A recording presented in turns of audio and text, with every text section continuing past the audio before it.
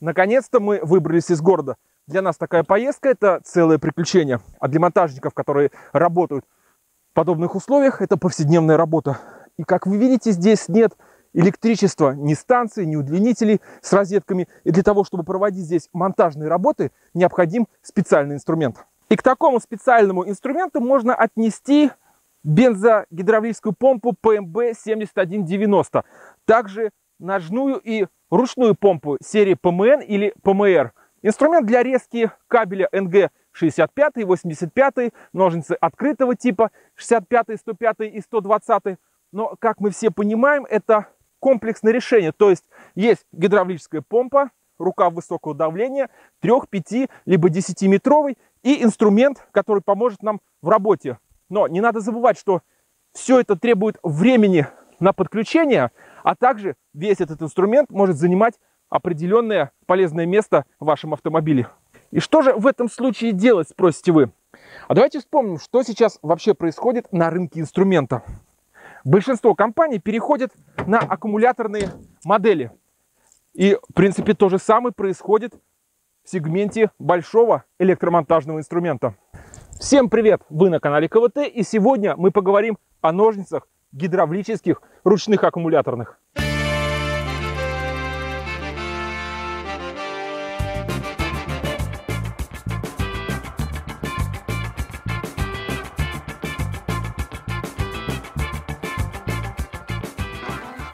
Монстры современного аккумуляторного инструмента представлены двумя моделями. Это ножницы NGRA 65 и ножницы NGRA 105. НГРА это ножницы гидравлические ручные аккумуляторные.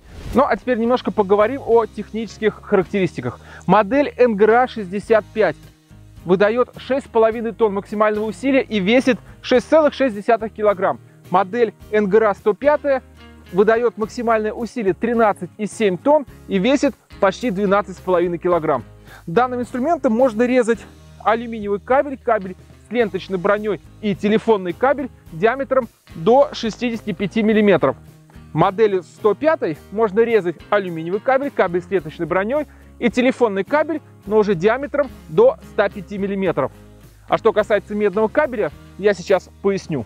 Чтобы ножницами НГРА 65 и 105 работать с медным кабелем, о медном кабеле нужно знать класс жилы, тип брони, который в нем используется, а также чтобы диаметр медного кабеля составлял 60% от диаметра алюминиевого кабеля.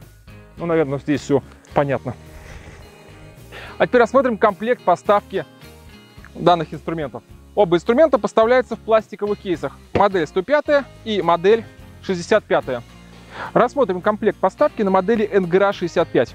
В комплект поставки входит инструкции по эксплуатации, две аккумуляторные батареи, зарядное устройство и плечевой ремень. И, соответственно, сам инструмент.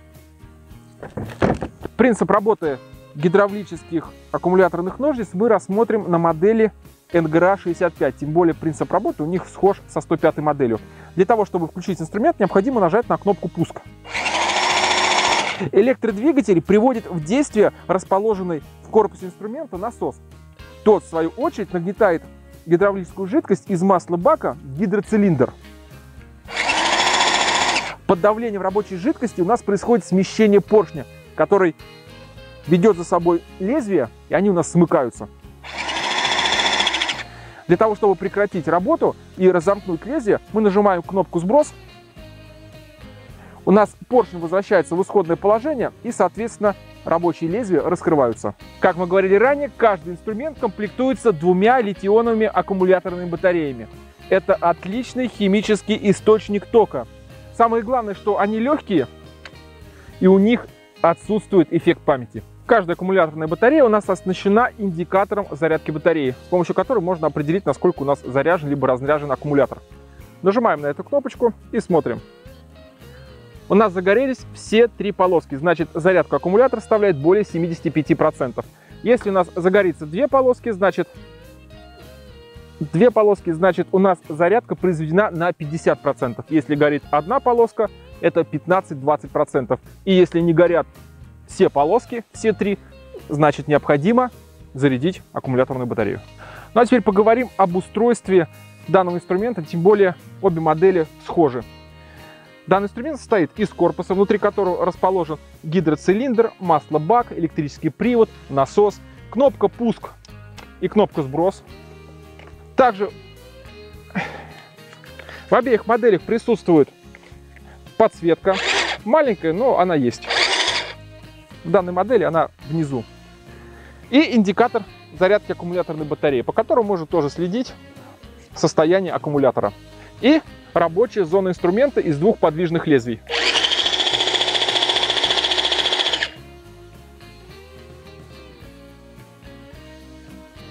Ну и для безопасности подвижные лезвия, как мы видим, везде закрыты резиновым кожухом. Ну и, соответственно, ручка для удобства работы с данным инструментом. В обеих моделях у нас поворотная рабочая голова. То есть монтажник или оператор может сам под себя настроить так инструмент, как ему будет удобно работать. И еще пару слов о поворотной рабочей голове.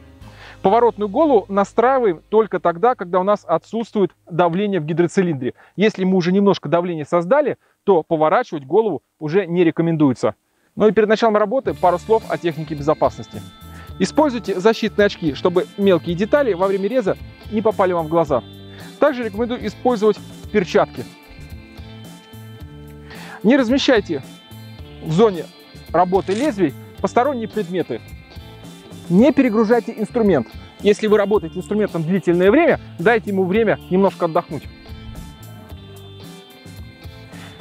А также используйте инструмент в тех температурных диапазонах, которые указаны в инструкции по эксплуатации. И перед началом работы всегда читайте инструкцию. Вот, приступим к резу.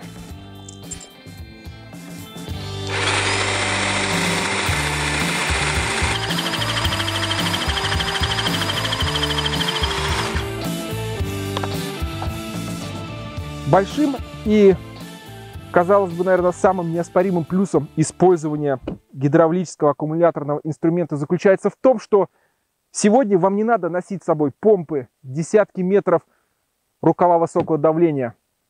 Все помещается в одном легком чемоданчике. И там, где заканчиваются дороги, начинаются реальные монтажные будни. Всем пока и до новых встреч. Встретимся в следующем видеообзоре.